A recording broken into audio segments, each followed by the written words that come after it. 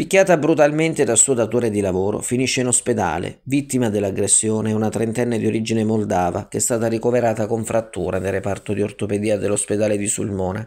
La giovane, che stava lavorando in un locale notturno del territorio marchigiano, sarebbe stata afferrata per i capelli, strattonata sul pavimento della struttura dal suo capo servizio.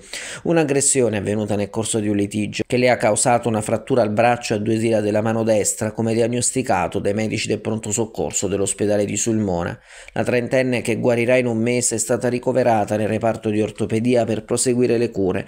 Qui sarà sottoposta a un intervento chirurgico che sarà effettuato nei prossimi giorni dall'equipe sanitaria diretta dal primario Fabio Lombardi. Subito dopo l'aggressione la trentenne moldava si era recata nel pronto soccorso dell'ospedale più vicino, salvo poi spostarsi a Sulmona, città che abitualmente frequenta perché fidanzato vive in Valle Subequana. La vicenda è stata segnalata immediatamente al commissariato di polizia per le indagini del caso caso. La squadra volante ha ritirato il referto stilato dal pronto soccorso e ha raccolto la testimonianza della vittima per fare chiarezza sulle modalità e sulle circostanze dell'aggressione, in modo tale da ricostruire tutti i particolari.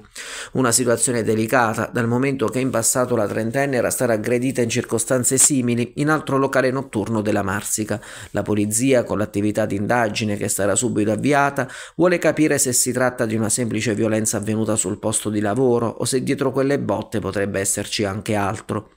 Al momento la giovane è ancora sotto shock, tanto che non ricorda nemmeno il nome del titolare del locale dove è avvenuto il fatto. Intanto la Procura della Repubblica di Fermo, competente per territorio, ha aperto un fascicolo sulla vicenda e ha delegato i poliziotti sulmonesi di seguire la fase preliminare dell'indagine.